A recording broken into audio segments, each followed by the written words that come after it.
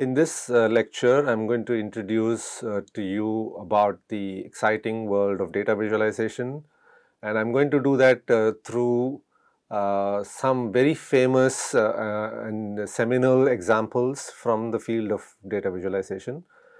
any book or an article about data visualization will not fail to mention these examples. So, some of you might have already come across some of these examples. Uh, but uh, what these stories uh, tell us are these were people who were very interested in using data to communicate, to discover something and to persuade people. Uh, so, these people found an interesting way using data visualization to achieve their purposes.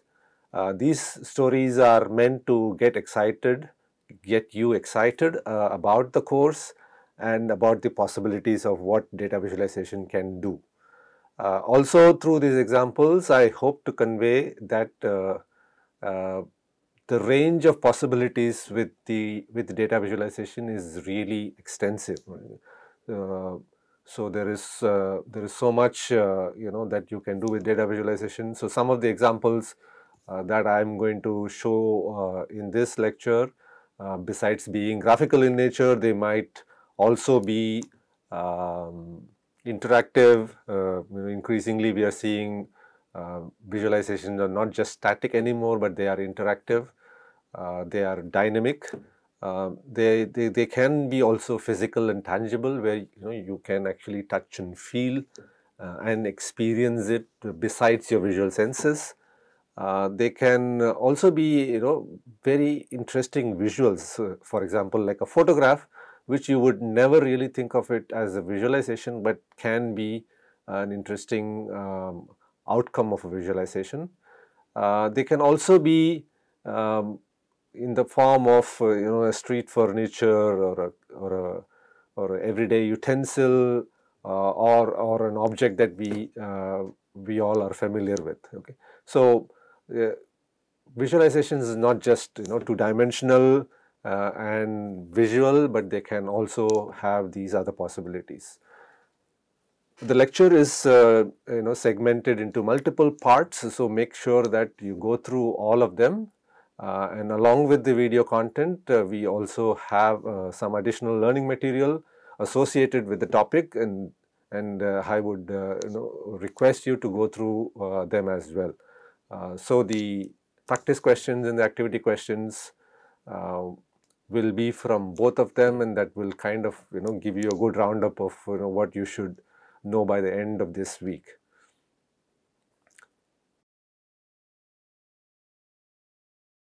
Okay, so um, to start with, uh, you know, we let us just you know um, um, understand from you guys uh, what is it that you know you have, uh, uh what is your idea about what data visualization is, and what do you think uh, you will learn or what do you hope to learn from a course such as this? So, you said a few things here to interpret is it?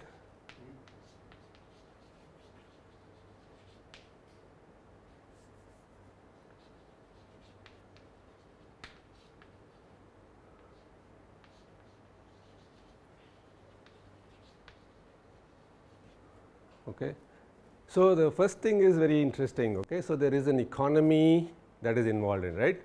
So, what you you might have to uh, use many sentences, words, paragraphs.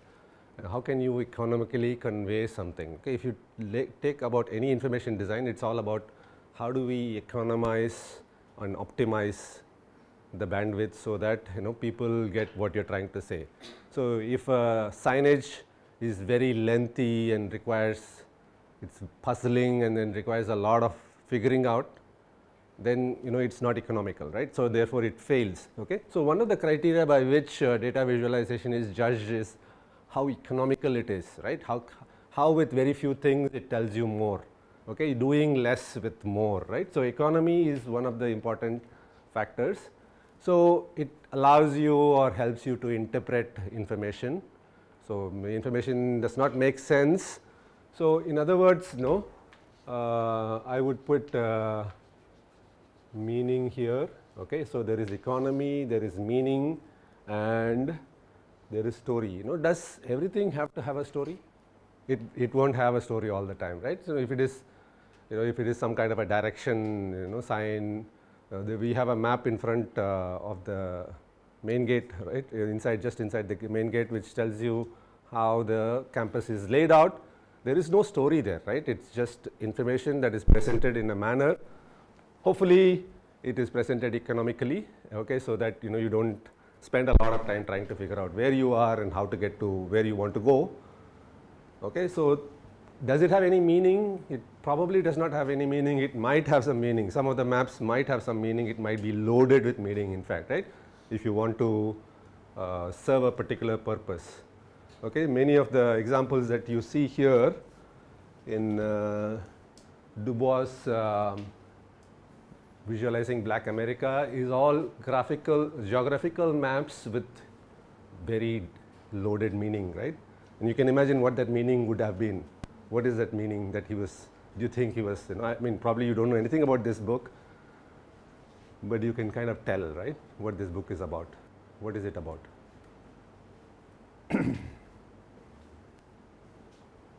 yes, Yashita.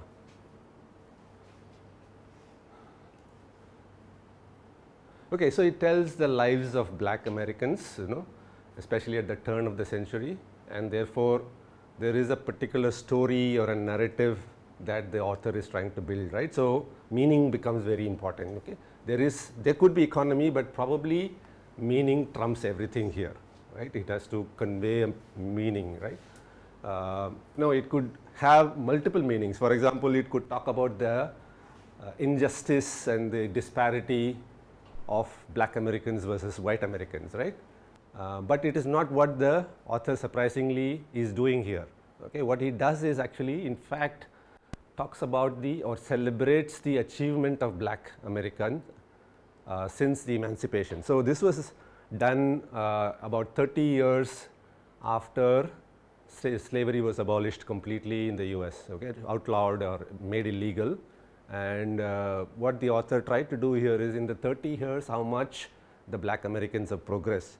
So, it is not um, story of gripe and uh, crib and uh, you know oh see you know how poor we are and you know how uh, how much injustice you know has been done to us etc etc but he is he's celebrating the achievements right he is saying that uh, you know black Americans have done really well despite the difficulties that they have had in just three decades, their literacy levels have gone up, you know, they are, they are married, they are, uh, they're married and they are staying in stable marriages, uh, they are starting businesses, they are inventing stuff, you know, they're going to college, they are paying taxes, their households have equipment. So, basically a lot of data that he collected and is presenting the, the, the, the, the, progress the black community has made. Okay. So, so, there is meaning. So, all the visualizations that he did in support of that is to further that meaning, that further that narrative, right. So, there is a very heavy meaning and story in that uh, in the in the ones that you know Du Bois did, but not necessary that it might have all of them. Okay, anything else besides this? What does data visualization do? You are already going a little bit further ahead of what data visualization could potentially do. Okay. So, what are the some of the very basic things data visualization does? Okay. So, um, so I would put uh, you know explain something. Uh, I mean you can explain something in text, but what if that explanation is not satisfactory, right? Or people find that explanation very hard to understand even then, right? So, you might have to find other means of explaining it. One of the ways to explain things is you can explain it visually, it, you know, in addition to explaining it verbally and through text, uh, textually and therefore, it might become uh, easier to understand, right? Right? Okay. So, explaining, explaining will also require you know why, why something works, why something does not work, why, how, what of something, right. So, all of them comes and then we use a lot of visual elements uh, you know like what Tejaswini said you know could be about uh, you know remembering better, understanding better. So, it's simply you know explain, help with understanding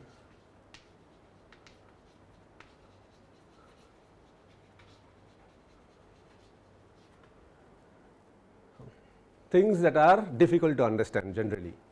Okay? Uh, it might not tell a story, right? For example, you might uh, explain how this uh, mechanical pen pencil works. Okay? So, there is no story to it. It's just that you know if I just write a two paragraph uh, uh, uh, explanation about it, you know it still might not. But if I do some kind of a illustration of this pen, break it up you know into exploded views, and then explain how these parts go into each other and then maybe even use animation or something like that to see how the work how it works then you know it is easy, easy for me to understand right. So, you know it is merely explaining something right explaining a phenomena here in this case. Uh, so, it might not have a story right. So, a lot of people you know uh, automatically assume that data visualization have to tell a story right uh, or they think that you know they, they want to learn data visualization because they want to tell very powerful stories or compelling stories and all. So, not all data visualization will lead to storytelling, but some of them might require. So, it depends on the context and what the purpose is right.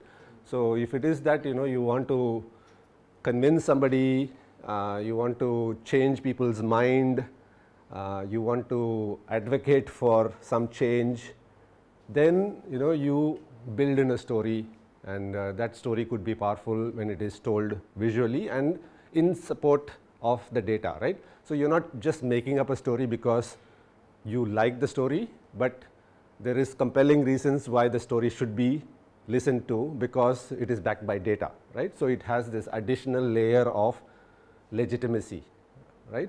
So, okay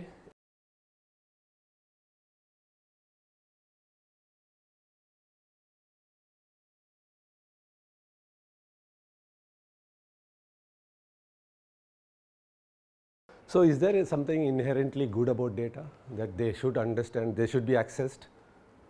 So, that is okay. So, if you organize it well, then you know people will be able to access it better, understand it, right.